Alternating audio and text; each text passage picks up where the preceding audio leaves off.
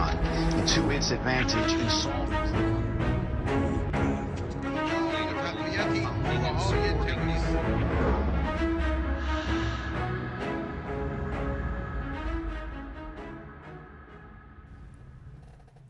سلام بر شما. به بخش خبر تلویزیون ایران فردا خوش آمدید. من فریبا شیرازی هستم. محمد باقر نوبخت معاون برنامه ریزی و نظارت راهبردی رئیس جمهور و علی لوریجانی رئیس مجلس شورای اسلامی در جمع فرماندهان قرارگاه خاتم الانبیای سپاه پاسداران از عملکرد این نهاد اقتصادی دفاع کرده و ضمن توصیه به آنها به حضور در بخش‌های دیگر اقتصادی تاکید کردند. قرارگاه خاتم الانبیا رقیب بخش خصوصی نیست. آقای نوبخت گفته این قرارگاه بدون داشتن رویکرد اقتصادی به طرحها با نجابت به دنبال یاری رساندن به دولت است. قرارگاه خاتم الانبیاء سپاه پاسداران از بزرگترین نهادهای پیمانکاری در ایران است که حضور گسترده‌ای در بخش‌های مختلف اقتصادی به خصوص نفت و گاز دارد و برخی نسبت به عملکرد و حضور گسترده آنها در اقتصاد انتقاد دارند علی لاریجانی رئیس مجلس شورای اسلامی نیز به فرماندهان این قرارگاه توصیه کرده در بخش سهام عدالت وارد شوند و فعالیت‌های خود را به بخش معدن نیز گسترش دهند. دفتر اکبر هاشمی رفسنجانی در پاسخ شدید و به محمد خامنه برادر رهبر جمهوری اسلامی تهدید کرد که از اقدامات ناسپاسانه محمد خامنه ای پیش از انقلاب شواهد زیادی در دست دارد که این دفتر به خاطر حفظ آبرو و حرمت بیت خامنه ای از بیان آنها خودداری می کند. محمد خامنه ای برادر بزرگتر علی خامنه ای در مصاحبه با نشریه رمز عبور که روز 19 آذر ماه منتشر شد آقای هاشمی رفسنجانی را نامزد آمریکایی ها برای نفوذ در ایران توصیف کرد و گفته بود او و آیت الله حسین علی منتظری بر سر معامله با آمریکا رقابت داشتند. وی در این مصاحبه همچنین گفته بود آقای هاشمی رفسنجانی با رابرت مکفارلین دیدار و بعدا به دروغ این دیدار را تکذیب کرده است. در پاسخ دفتر آقای هاشمی آمده چرا کسانی که در جریان تصمیمات انقلاب هستند در این گونه موارد سکوت کردند؟ این جوابیه همچنین گفته آقای محمد خامنه ای احتمالا در روز رحلت امام و انتخاب آیت الله خامنه ای به عنوان رهبر جمهوری اسلامی ایران نبودند وگرنه همگان می‌دانند که آیت الله هاشمی رفسنجانی چه نقشی برای تعیین رهبری علی خامنه ای داشته است. اسماعیل احمدی مقدم فرمانده نیروی انتظامی با اعتراف به اینکه یگان ویژه نیروی انتظامی به سرکوب مردم مشغول بوده است از اینکه این نیرو برای کنترل بازگشت زائران کربلا در اربعین مجبور شده بارکش مردم شود ابراز گلایه کرده. وی که در همایش در دانشگاه علوم انتظامی سخنرانی می کند همچنین مدعی شده که پلیس اعتراضات سال 88 را از شش ماه قبل پیش بینی کرده و برای آن آماده شده بود. بیشتر بسیاری از مقامات جمهوری اسلامی به ناتوانی و عدم آمادگی پلیس برای کنترل اعتراضات اشاره کرده بودند. احمدی مقدم در عین حال به شکلی ناخودآگاه اعتراف کرده که نیروی انتظامی از قبل برای ایفای نقش کودتای انتخاباتی آماده شده بود اما عظمت جنبش سبز آنها را غافلگیر کرد. عزت الله زرقامی رئیس پیشین سازمان صدا و سیما پس از پنج سال فاش کرده مقام های جمهوری اسلامی نمی‌خواستند میر حسین موسوی در برنامه های تلویزیونی با مردم سخن بگوید.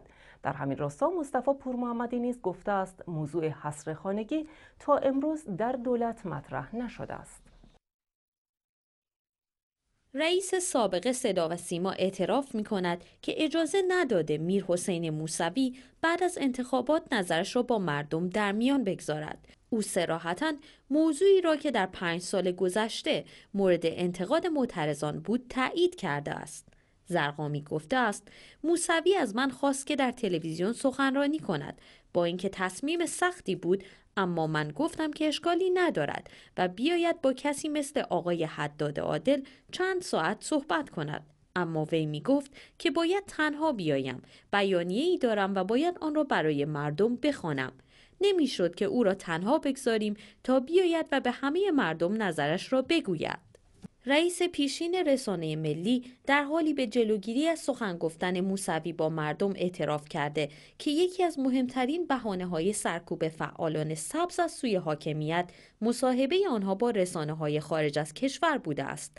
حالان که اکنون رئیس صدا و سیما اعتراف کرده که حاضر نشده به میر حسین موسوی حتی به اندازه متهمان دادگاه های نمایشی تریبون بدهد که نظرات خود را با مردم در میان بگذارد و همه قضاوت را به افکار عمومی بسپارند.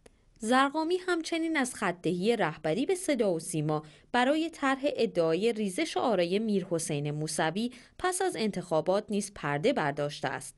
ادعایی که بعد از آن بارها از سوی فرماندهان نظامی و تریبونداران حکومتی تکرار شد. بدون اینکه کوچکترین سندی برای آن ارائه شود یا فضای آزادی برای آزمون این ادعا به وجود بیاید. وی گفته است یکی از توصیه های رهبری به بنده در ایام فتنه این بود که نگذارید اینطور وانمود شود که همه جمعیت 13 میلیونی کسانی هستند که از اردوکشی خیابانی حمایت می کنند. ایشان گفتند حساب کسانی که با فتنه زاویه دارند از فتنگران جدا کنید. رئیس سابق صدا و سیما درباره مواضع ناطق نوری پس از انتخابات نیز صحبت کرده و از گفتگوی خود با او و روشن شدن وی پس از این گفتگو سخن گفته است. زرقامی گفته است بعد از 25 بهمن به آقای ناطق نوری گفتم که این آخرین فرصت برای شماست که بیایید علیه فتنه موضع بگیرید و ایشان در آن مصاحبه فتنه را محکوم کردند. زرقامی در ادامه هم می‌گوید من بین موسوی و کروبی فاصله می‌گذارم موسوی آگاهانه تر از کروبی حرکت می کرد و کروبی کمتر در جریان مسائل خارج بود. خاتمی با همه ویژگی هایی که داشت و نقدی که خیلی ها به وی وارد کردند گرفتار فتنه شد و سخت است که از آن برگردد. وی تا آخرین لحظه اسیر بازی موسوی بود. رئیس سابق صدا و سیما همچنین اعتراف کرده که تلاش می‌کرده بین کروبی و موسوی اختلاف بیاندازد. هرچند در رسیدن به این هدف ناکام بوده است. زرقامی گفته شب دوم پس از انتخابات هم پیش آقای کروبی و هم پیش آقای موسوی رفتم. با آقای کروبی گفتم که این حرکت شما خسارت هایی به بار می آورد و دنبال روی موسوی شده اید. او همچنین از قول کروبی گفته است در صندوق های رأی استوانه هایی درست کردند که در آن برگه های رأی احمدی نژاد ریخته شده و رأی مردم به اطراف این استوانه ها ریخته می شود و سپس خود افسوده واقعا این حرف تعجب برانگیز بود. به ایشان گفتم مگر می شود در این همه صندوق چنین کاری کرد؟ چون صندوق ها هم پلم است و اصلا نمی شود چنین کاری با صندوق ها کرد. به نوشته کلمه زرقامی توضیح نداده که چرا حتی همان با شماری های محدود و ده درصدی آرا نیز بدون حضور نمایندگان موسوی و کروبی و بدون توجه به موارد مورد اعتراض آنها صورت گرفت. زرقومی همچنین نگفته که چرا رسانه ملی تحت امرش حتی برای 24 ساعت پس از انتخابات هم نتوانسته بیطرفی خود را حفظ کند و قبل از اعلام رسمی نتایج از سوی مقامات مسئول پیام رهبری مبنی بر پیروز خواندن احمدی نژاد را پخش کرده است. رئیس سابق صدا و سیما همچنین اشاره نکرده که چرا تجمع زود هنگام حامیان احمدی نژاد و سخنان تحقیرآمیز وی به طور زنده از رسانه ملی پخش شد اما تجمعات میلیونی 25 تا 28 خرداد که بدون هیچ گونه سازماندهی حکومتی صورت گرفت بازتاب متناسبی در صدا و سیما نداشت. در رویدادی دیگر مصطفی پور محمدی وزیر دادگستری ایران گفت حصر خانگی رهبران جنبش سبز به شورای عالی امنیت ملی مربوط است و تا کنون این موضوع در دولت یازدهم مطرح نشده است. پور محمدی با بیان اینکه دولت و قوه قضاییه به تنهایی نمی‌توانند تصمیم گیری کنند تاکید کرد اگر تصمیمی باشد و حرکتی بخواهد در این باره صورت بگیرد باید در شورای عالی امنیت ملی تصمیم گرفته شود اظهارات وزیر دادگستری روحانی در حالی است که با روی کار آمدن دولت حسن روحانی بسیاری این امید را داشتند که دولت یازدهم در جهت حل موضوع حصر خانگی میرحسین موسوی، مهدی کروبی و زهرا رهنورد تلاش کند.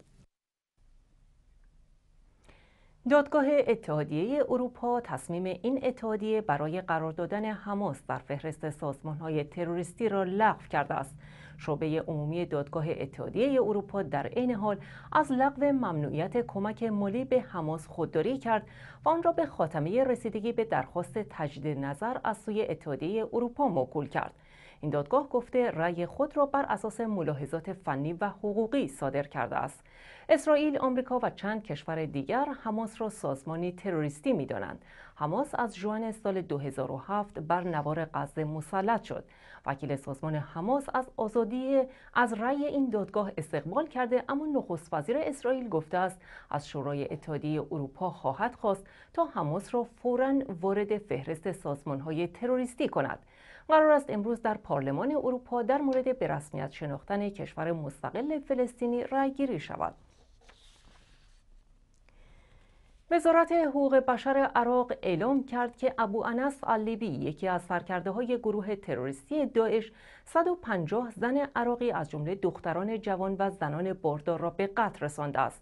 وزارت حقوق بشر عراق افزوده عناصر داعش دست به عملیات کشتار دست جمعی در فلوجه زده و اجساد قربانیان را در دو گور جمعی دفن کردند. داعش دوشنبه گذشته نیز 23 نظامی و غیر نظامی عراقی را در شرق تکریت به دلیل بیعت نکردن با این گروه اعدام کرد. پاکستان در ازای قربانیان حمله خونین طالبان به سر می‌برد. در جریان این حمله حدود 150 تن از جمله بیش از 130 دانش آموز کشته شدند. رهبران جهان انزجار شدید خود را نسبت به این واقعه ابراز کردند. مراسم خاکسپاری قربانیان حمله خونین نیروهای طالبان در شهر پیشاور آغاز شده است. در پی این حمله که روز سهشنبه 25 آذر روی داد، نزدیک به 150 نفر که 132 تن از آنها دانش آموز بودند، جان خود را از دست دادند. درباره شمار دقیق قربانیان اطلاعات گوناگونی منتشر شده است. برخی از منابع از 153 قربانی سخن می‌گویند و برخی از آنها نیز شمار قربانیان را 148 نفر ذکر می کنند. گفته می شود بیش از 250 نفر نیز در جریان این حمله زخمی شدند. به گفته مقامات ارتش پاکستان هفت مهاجم طالبان که همه بمب‌هایی به تن بسته بودند عاملان این حمله خونین بودند. آنان با عبور از حصار سیمی وارد مدرسه شده و با حضور در تالاری که دانش آموزان در آن مشغول دادن امتحان بودند آنها را به رگبار بستند. این مهاجمان سپس به یکایک کلاس ها رفته به سوی دانش آموزان و آموزگاران شلیک کرده و عدهای را به گروگان گرفتند. در جریان عملیات چندین ساعته ارتش پاکستان برای پایان دادن به این حمله و گروگانگیری هر هفت مهاجم کشته شدند. نواز شریف نخست وزیر پاکستان ضمن اعلام سه روز عزای عمومی این حادثه را فاجعه ملی که کار وحشیانه است خواند و قول داد عاملان به جزای اعمال خود برسند. سخنگوی ارتش پاکستان نیز در ارتباط با این حمله خونین گفت عاملان از این حمله تنها یک هدف را دنبال می‌کردند کشتن کودکان بیگناه و نگرفتن گروگان. راهل شریف فرمانده ارتش پاکستان نیز از اقدامات تلافی جویانه سخن گفت و تصریح کرد این اقدامات تا نابودی کامل اسلامگرایان افراطی در این کشور ادامه خواهد یافت. به گزارش رسانه‌های خبری نیروی هوایی ارتش پاکستان شامگاه سهشنبه 16 دسامبر دست به عملیات هوایی زده و مواضع احتمالی نیروهای طالبان را هدف قرار دادند. رهبران جهان در واکنش به حمله مرگبار طالبان در پیشاور انزجار شدید خود را از این عمل ابراز داشتند آنگلا مرکل صدر آلمان در پیام تسلیت خود تصریح کرده که گروگان گرفتن و قتل کودکان و نوجوانان بیرحمانه ترین عملی است که می‌توان به آن دست زد. یواخیم گاوک رئیس جمهور آلمان نیز از عمل بزدلانه تروریست ها سخن گفت.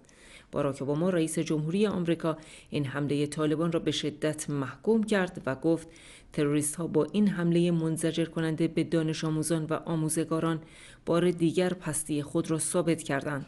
جان کری وزیر خارجه آمریکا نیز ضمن ابراز همدردی با نخست وزیر و مردم پاکستان بر همکاری و همبستگی واشنگتن با اسلام آباد در مبارزه با افراط گرایان تاکید کرد. ناندرا مودی نخست وزیر هند نیز در پیامی در شبکه توییتر اعلام کرده که تماسی تلفنی با نواز شریف همتای پاکستانی خود داشته و مراتب تسلیت و همدردی خود را ابراز داشته است. گفتگو میان رهبران دو کشور متخاصم هند و پاکستان که هر دو از قدرت اتمی برخوردارند به ندرت صورت می‌گیرد. در خور توجه آنکه حتی نیروهای طالبان افغانستان نیز از این حمله خونین فاصله گرفته و هجوم به مدرسه در پیشاور را اقدامی غیر اسلامی دانستند. زبیح الله مجاهد سخنگوی طالبان افغانستان به خانواده های قربانیان تسلیت گفته است. از سوی دیگر جنبش طالبان پاکستان اعلام کرده به تلافی ادامه عملیات ارتش این کشور علیه طالبان دست به انجام این حمله زده است.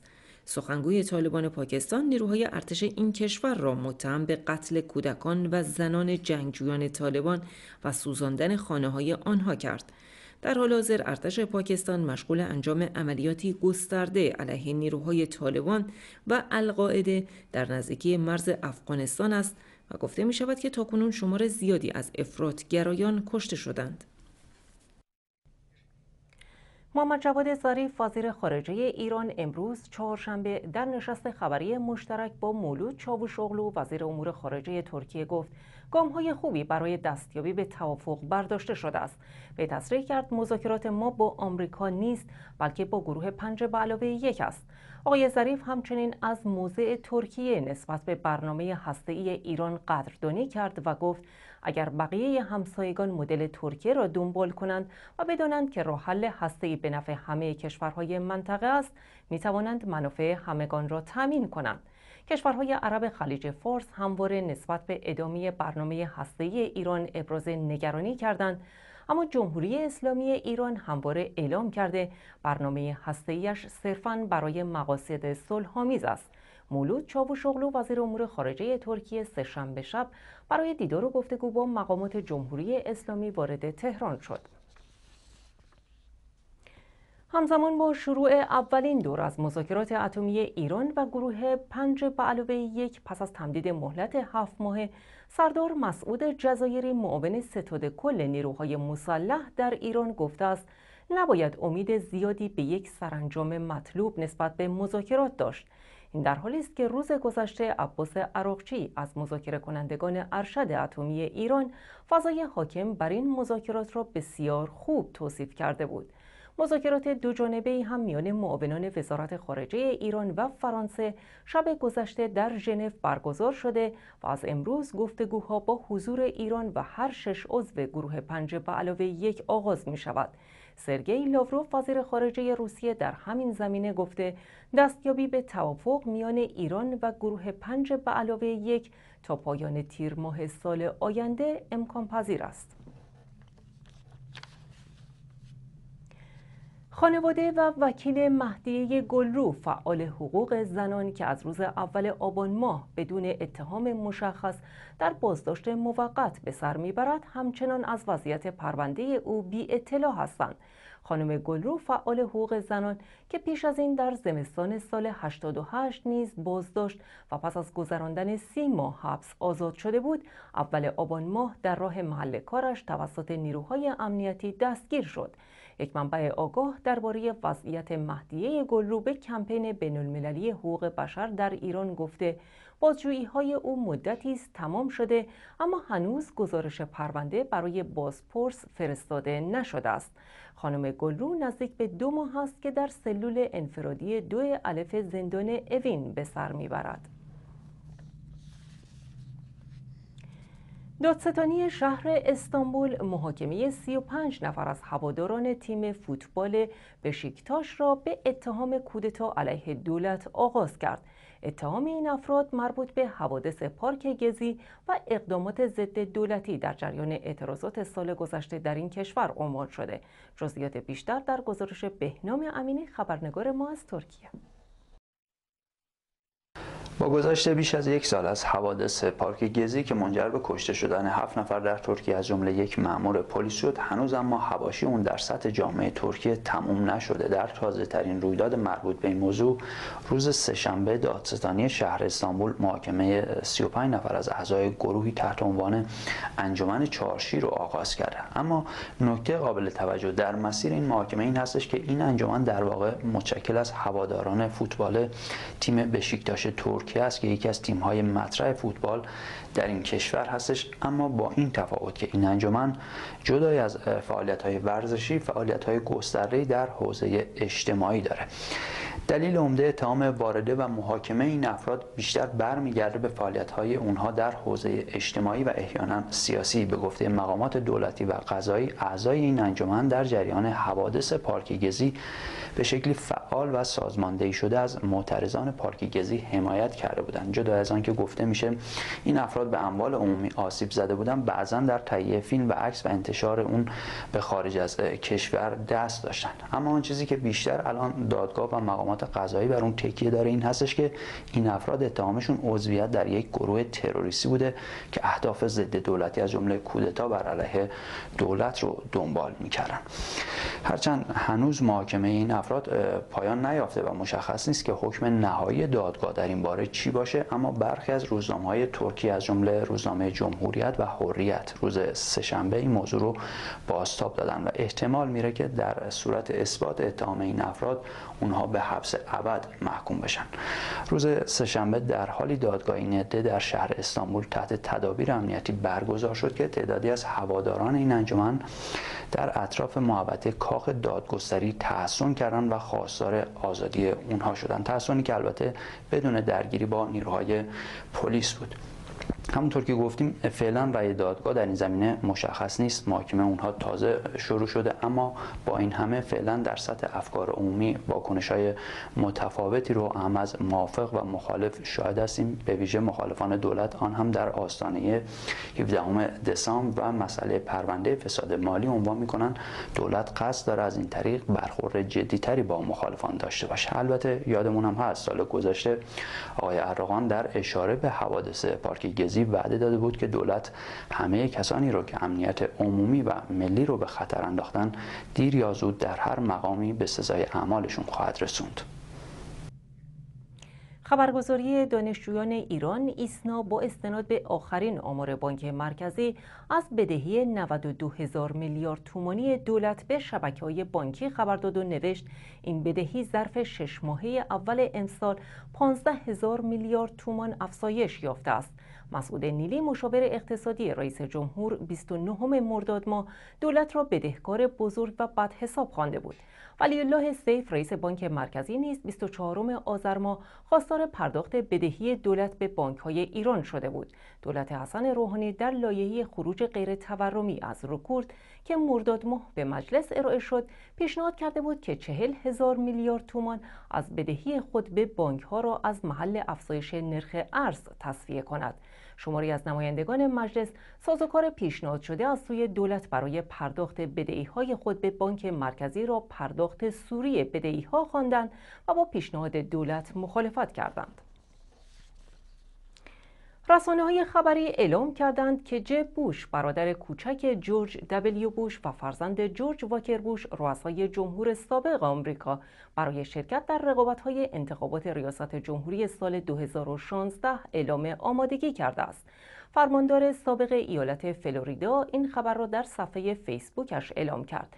جب بوش 61 ساله نخستین چهره مطرح حزب جمهوریخواه آمریکاست که آمادگی خود را برای شرکت در رقابت‌های انتخابات ریاست جمهوری سال 2016 اعلام می کند.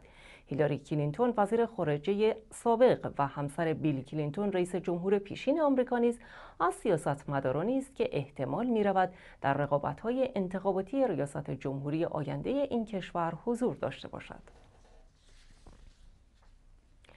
احمد خورم وزیر اسبق راه گفت در دولت گذشته کار به جایی رسید که حکم قضایی برای معاون اول صادر شد و فساد به قدری گسترده و فراگیر بود که آقای پور محمدی که آن زمان رئیس سازمان بازرسی کل کشور بودند گفتند بیش از 100 پرونده مثل پرونده 3000 میلیاردی وجود دارد. در همین راستا اسحاق جانگیری نیز در نشست خود با مدیران بانک های دولتی و مؤسسات مالی اعتباری گفت در سالهای گذشته در حق کشور ظلم شده است. آنچه ما گفته این پنج درصد ظلمی که به کشور شده نیست. ما هنوز نگفتیم چه سوء استفاده هایی در گذشته انجام شده است. روز گذشته نیز اکبر هاشمی رفسنجانی رئیس مجمع تشخیص مصلحت نظام دولت حسن روحانی را مظلوم ترین دولت پس از انقلاب دانست و گفت این دولت نمی‌تواند عمق فسادها و مشکلات را بازگو کند. خبرگزاری تصنیم نزدیک به سپاه پاسداران می نویسد در اثر ضعف دیپلماسی نفتی ایران قیمت نفت به 58 دلار رسیده و به همین دلیل ایران تا پایان سال بیش از 8 میلیارد دلار ضرر می کند. جمهوری اسلامی ایران با 25 درصد کاهش درآمد نفت مواجه شده است. بر اساس گزارش های منابع خبری قیمت جهانی نفت و به دنبال آن قیمت نفت ایران از جوان 2014 روندی نزولی را طی کرده و در نتیجه درآمد تولید کنندگان نفت به شدت کاهش پیدا کرده است. بر اساس اطلاعات منتشر شده از سوی اوپک قیمت نفت سنگین ایران از جوان 2014 حدود 50 دلار کاهش یافته و از 107 دلار و 45 سنت در ماه جوان به حدود 58 دلار در اواسط دسامبر 2014 رسیده است. به گزارش خبرگزاری تصنیم رسانه وابسته به سپاه پاسداران با فرض صادرات روزانه یک میلیون بشکه نفت ایران طی ماههای ژوئن تا نوامبر و با توجه به متوسط قیمت‌های ماهانه نفت ایران کل درآمد نفتی کشور در این دوره 17 میلیارد و 106 میلیون دلار برآورد شده است. بر همین اساس زیان اقتصادی ایران در پی کاهش جهانی قیمت نفت در ماهای ژوئن تا نوامبر بالغ بر دو میلیارد و 235 دلار ارزیابی شده و درآمد نفتی ایران در این بازه زمانی 11 درصد کاهش یافته است. چنانچه قیمت نفت در سطح 107 دلار و 45 سنت باقی میماند درآمد نفتی 19 میلیارد و 341 میلیون دلاری در ماهای ژوئن تا نوامبر آید ایران می‌شد. از اول ماه دسامبر برابر با سوم آذر افت قیمت نفت شتاب بیشتری گرفته است و در اواسط این ماه هر بشکه نفت سنگین ایران در برابر 58 دلار معامله می شود. اگر همین سطح قیمت برای نفت ایران تا پایان سال 93 حفظ شود، کل درآمدی که ایران از فروش نفت به دست می آورد بالغ بر 6 میلیارد و 786 میلیون دلار خواهد بود. در لایه بودجه سال 94 که به عنوان نخستین بودجه دولت 11 آذر ماه سال جاری به مجلس ارائه شد قیمت نفت در سال 94 معادل 72 دلار پیش بینی شده است. همچنین در بودجه سال آینده به گفته رئیس جمهور حسن روحانی وابستگی بودجه به درآمدهای نفتی 30 درصد کاهش یافته است. به ادعای خبرگزاری تصنیم بسیاری از تحلیلگران انگشت اتهام را به سوی دیپلماسی نفتی کشور دراز کردند و معتقدند دستگاه نفتی کشور در استفاده از ظرفیت‌های کشور برای مقابله با سقوط قیمت‌ها با جدیت عمل نکرده است. این گزارش مدعی است که با وجود کاهش قیمت نفت، دستگاه نفتی ایران اراده موثری از خود برای مقابله با این روند نشان نداده است. وجود جریانی در بازار نفت به رهبری عربستان سعودی دیگر علل کاهش قیمت نفت از سوی این خبرگزاری عنوان شده که با اهداف و اغراض سیاسی بر تبل کاهش قیمت نفت میکوبد. در این گزارش همچنین از به خدمت درآمدن برخی موزگیری های مقامات نفتی ایران به نفع جناه مقابل یاد شده که باعث تضعیف بیشتر قیمت نفت شده است. خبرگزاری تصنیم اظهارات رئیس اداره بررسی های بازار نفت وزارت نفت را که منجر به کاهش بیش از یک دلاری قیمت نفت شده را سندی برای این ادعایش عنوان کرده است. به گزارش خبرگزاری بلومبرگ محمد صادق معماریان در جریان یک کنفرانس نفتی در دوبه گفته بود شکست شدن همبستگی درون اوپک یا بروز جنگ قیمت منجر به یک شوک قیمتی قابل توجه می شود و قیمت نفت را به چهل یا پنجاه دلار می رساند. این گزارش تصریح کرده است بازار نفت تحت فشار روانی کاهش قیمت قرار دارد و بخش قابل توجهی از افت قیمت نفت ناشی از عوامل روانی و سفت بازی بوده است وزیر نفت امارات چندی پیش گفته بود اگر قیمت نفت 40 دلار هم بشود اوپک باز هم تولید خود را کاهش نخواهد داد به اعتقاد این گزارش سقوط قیمت نفت عوامل مختلفی دارد که افزایش تولید نفت آمریکا و اقدامات رژیم عربستان و تبلیغات رسانه های غربی از جمله دلایل هستند و در عین حال دیپلماسی ضعیف وزارت نفت ایران به آتشی که بر دامن قیمت نفت افتاده دامن زده است. محمد علی جعفری فرمانده کل سپاه می‌گوید اینکه مقامات جمهوری اسلامی به جای کار برای خدا به رأی مردم تکیه می کنند بدبختی است. به تصریح کرده ادعی برداشت متفاوتی از انقلاب دارند. مثلا دوم خردادی ها شعار توقف انقلاب را سر می‌دادند و می‌گفتند هر روز نمی شود انقلاب کرد. اما رهبری 20 سال است با این دیدگاه انحرافی مبارزه می کنند ماه گذشته نیز محمد علی جعفری فرمانده کل سپاه در اظهار نظر مشابه گفته بود برخی مسئولین به جای توجه به تکالیف الهی و ارزش‌های انقلاب به رأی مردم توجه دارند که این امر موجب می شود تکالیف الهی فاصله بگیرند فرمانده کل سپاه پاسداران همچنین درباره سخنان اخیر حسن روحانی گفت منظور رئیس جمهوری ایران سپاه پاسداران نبوده است حسن روحانی دو هفته پیش گفته بود هر مجموعه ای که تفنگ، رسانه و پول در اختیار داشته باشد فاسد می شود. نیروهای مسلح در برخی از مناطق سوریه نیروهای ارتش این کشور را به عقب راندند. جبهه نصرت دست کم 120 سرباز ارتش سوریه به اسارت گرفته است. در همین حال نخست وزیر رژیم سوریه برای جلب حمایت بیشتر جمهوری اسلامی به تهران سفر کرده است. جنگ و درگیری در شمال غربی سوریه ابعاد مهیبی به خود گرفته است. در روزهای گذشته جبهه نصرت تلاش کرده برخی از پایگاه های ارتش سوریه را تصرف کند و تا حدودی نیز موفق شده است. اما این پیروزی ها با تلفات زیادی از هر دو طرف همراه بوده است.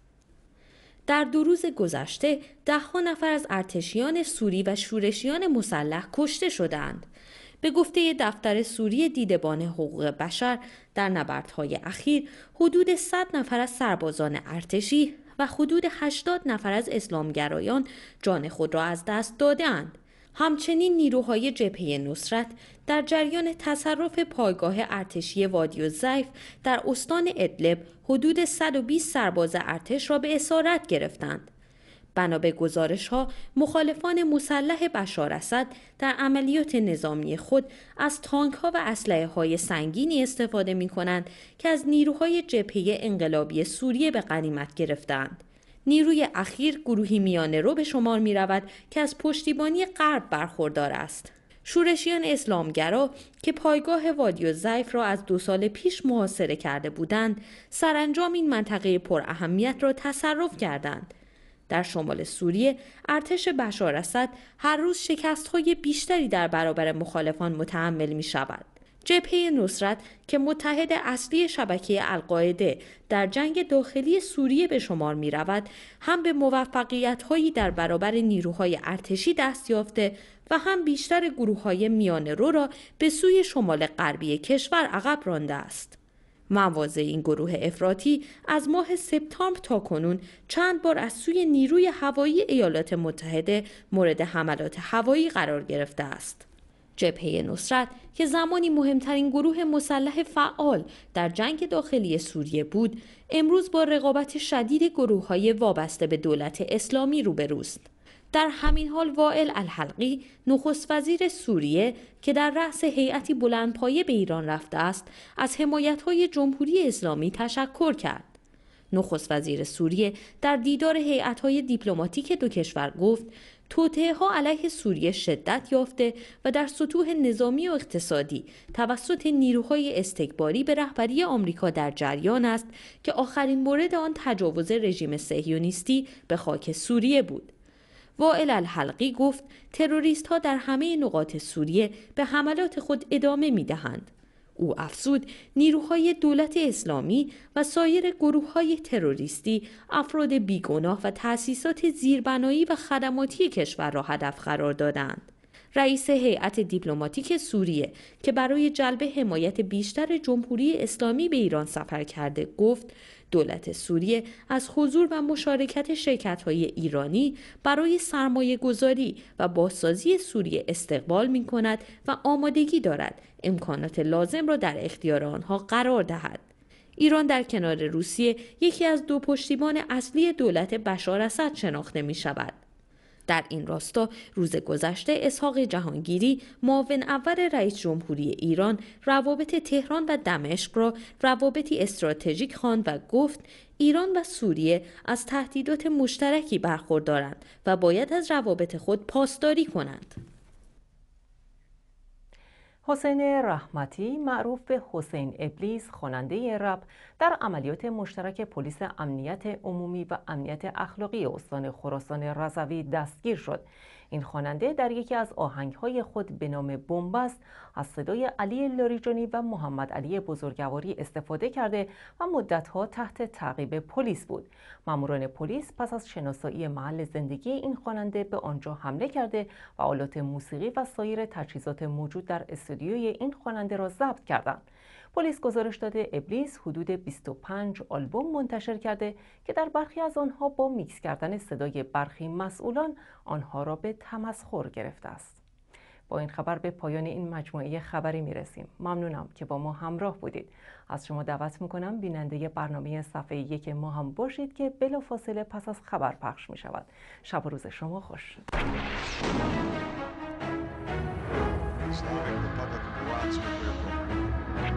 Use Iran to its advantage and solve.